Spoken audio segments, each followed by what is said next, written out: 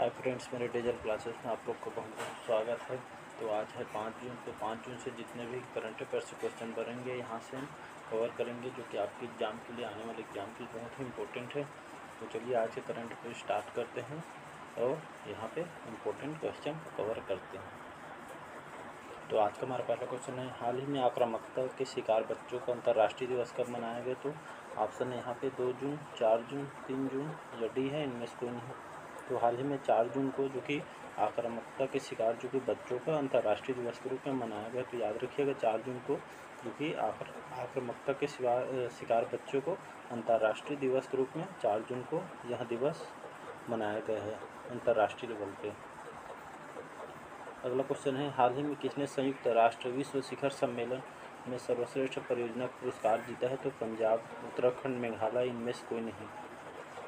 इसके सही ऑप्शन मेघालय हो गए, हो जाएगा, जो कि संयुक्त राष्ट्र विश्व शिखर सम्मेलन में जो कि सर्वश्रेष्ठ परियोजना का पुरस्कार आपके मेघालय ने जीत लिया है। बात करते हैं यहाँ पे मेघालय की तो इसका राज, मेघालय की राजधानी है शिलोंग, और कॉनराड शर्मा यहाँ के सीएम हैं, और सत्यपाल मलिक यहाँ के गवर्नर है। तो यहाँ सर्वश्रेष्ठ परियोजना पुरस्कार आपके मेघालय ने जीती है।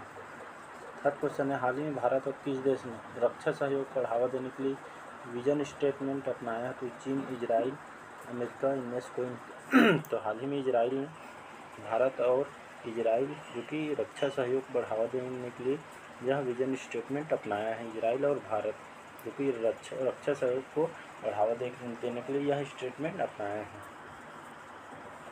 बात करते हैं यहाँ पे इसराइल की तो यहाँ के प्राइम मिनिस्टर हैं नप्तली बेनेट यहाँ के प्राइम मिनिस्टर और प्रेसिडेंट यहाँ पे आइसेक हेरजोग, जहाँ यहाँ के प्रेसिडेंट है और यहाँ की कैपिटल है जेरूसलम, यहाँ के इसराइल के राजधानी है जेरूसलम। अगला क्वेश्चन यहाँ पे।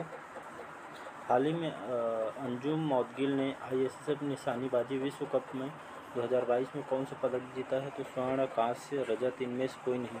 तो हाल ही में अंजुम मौदगिल ने, जो कि आईएसएफ निशानेबाजी में, जो कि विश्व कप 2022 में, जो कि इन्होंने रजत पदक, जो कि जीता है।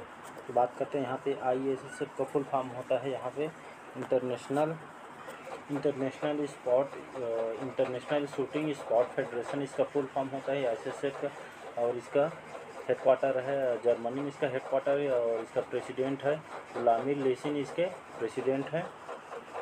तो याद रखिएगा, ये इनको 2022 में अंजुम मोदगिल को निशानेबाजी में, विश्व 2000 कप में 2022 में रजत पदक इनको मिला है। पाँचवा क्वेश्चन यहाँ पे। तुम्हारा पाँचवा क्वेश्चन हाल ही में किस राज्य सरकार ने द्वारा ए सी वी चौदह हज़ार चार सौ नामक एक लॉन्च किया है?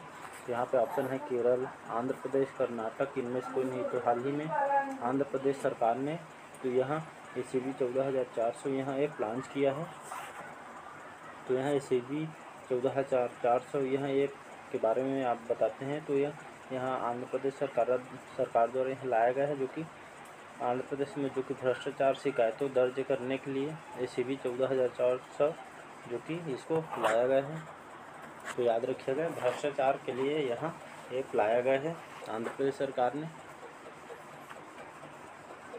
और बात करते हैं आंध्र प्रदेश की तो यहाँ की राजधानी है अमरावती, यहाँ की आंध्र प्रदेश की राजधानी है। और वाई एस जगन मोहन रेड्डी यहाँ के सी एम हैं।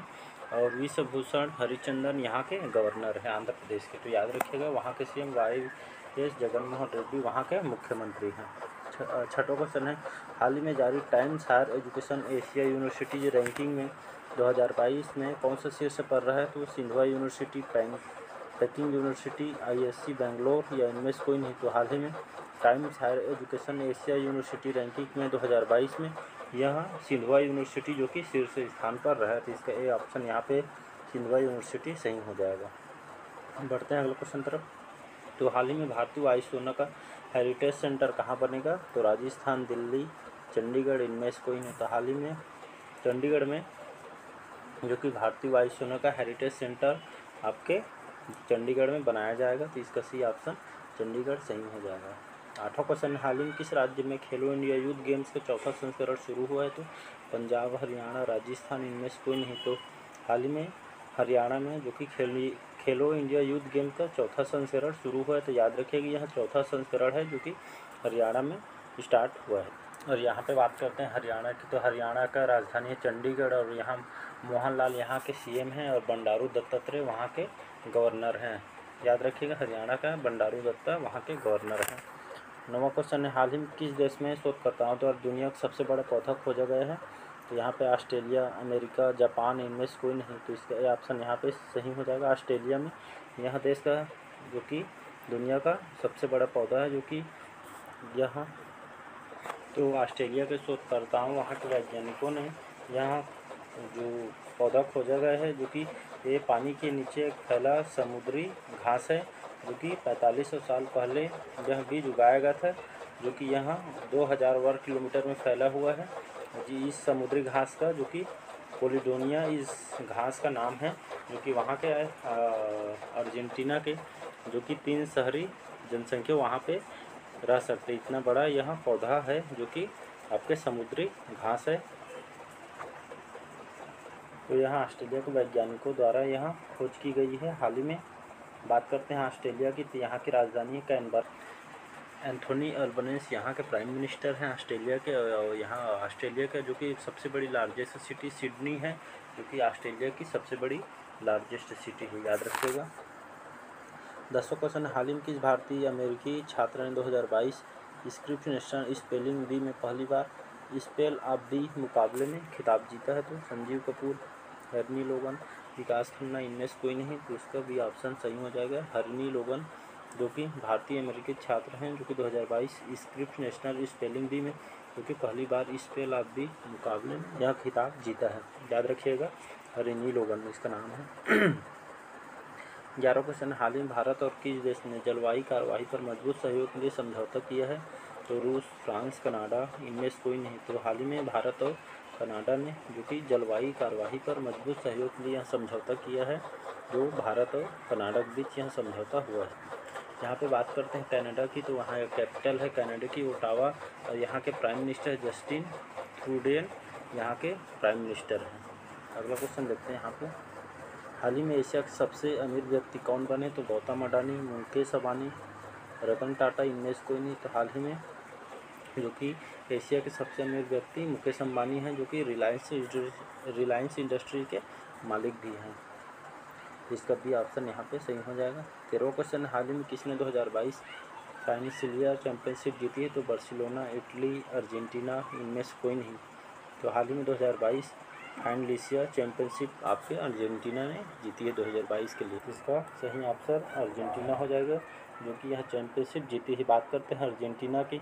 यहाँ की कैपिटल है ब्यूनिस आयर्स, यहाँ की कैपिटल है और प्रेसिडेंट है अल्बर्टो फर्नांडिस, यहाँ के प्रेसिडेंट है अर्जेंटीना के। नेक्स्ट क्वेश्चन देखते हैं, हाल ही में किस राज्य सरकार ने गर्भवती महिलाओं के लिए विशेष देखभाल अभियान आंचल शुरू किया है? तो यहाँ हरियाणा, राजस्थान, उत्तर प्रदेश, इनमें से कोई तो इसका भी ऑप्शन सही हो जाएगा। राजस्थान, जो कि यहाँ गर्भवती महिलाओं के लिए विशेष देखभाल के लिए यहाँ आंचल नाम नामक एक अभियान शुरू किया है जो कि महिलाओं के लिए, गर्भवती महिलाएँ उसके, उनके देखभाल के लिए यहाँ आंचल, जो कि राजस्थान सरकार ने यहाँ शुरू किया है। इसके बाद बात करते हैं राजस्थान तो यहाँ की राजधानी है जयपुर और अशोक गहलोत यहाँ के राजस्थान के सीएम हैं और कलराज मिश्रा यहाँ के गवर्नर हैं राजस्थान के। बढ़ते हैं अगले क्वेश्चन तरफ़। हाल ही। में भारत और किस देश के बीच तीसरी पैसेंजर ट्रेन मिताली एक्सप्रेस को हरी झंडी दिखाई गई है। तो नेपाल, श्रीलंका, बांग्लादेश, इनमें कोई नहीं। तो हाल ही में भारत और बांग्लादेश के बीच जो कि तीसरी पैसेंजर ट्रेन मिताली नाम, मिताली एक्सप्रेस है, जिसको अभी हरी झंडी दिखाई गई है। बांग्लादेश और भारत के बीच जो कि तीसरी पैसेंजर ट्रेन मिताली एक्सप्रेस है, जो कि हरी झंडी दिखा दी गई है। यहाँ पे बात करते हैं बांग्लादेश की तो इसकी कैपिटल है ढाका। इसकी कैपिटल है और करेंसी यहाँ पे बांग्लादेशी टका है, यहाँ की करेंसी और यहाँ के प्रेसिडेंट है। अब्दुल हामिद यहाँ के प्रेसिडेंट है और प्राइम मिनिस्टर शेख हसीना यहाँ के बांग्लादेश के प्राइम मिनिस्टर हैं। तो आज के करंट अफेयर्स कैसे लगा कमेंट करके ज़रूर बताएँ। चैनल को ज़्यादा से ज़्यादा लाइक सब्सक्राइब कमेंट करें और डेली बेस पे करंट अफेयर्स पढ़िए, क्योंकि बैक टू बैक आपके बहुत सारे एग्ज़ाम हैं। तो आज के लिए बस इतना ही। Thank you